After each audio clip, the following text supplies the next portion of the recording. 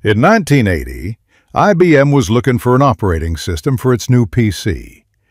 Gary Kildall, creator of CP/M, the most popular system at the time, was the obvious choice.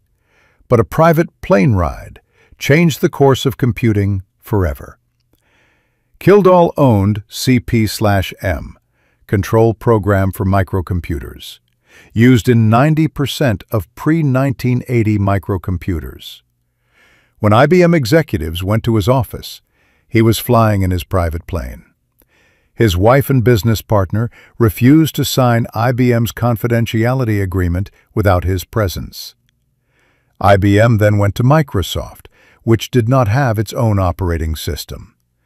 Bill Gates bought QDOS, Quick and Dirty Operating System, for 75,000 US dollars, adapted it as PC-DOS and licensed it to IBM, retaining the sales rights as MS-DOS. Within two years, CP/M was virtually extinct. Kildall wasn't just the one who lost the deal. He invented fundamental concepts like BIOS, bootloaders, and disk-based systems. He died in 1994 without receiving the recognition he deserved.